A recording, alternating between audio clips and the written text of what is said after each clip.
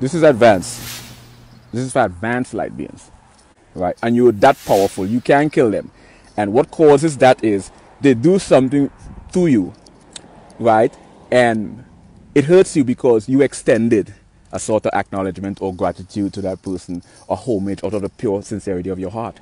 And when they hurt you, the pain you feel, the pain a light being feels, that energy in and of itself, just the feeling is so powerful, it has devastating, repercussive, karmic um, implications for that person. It's enough to break down their reality.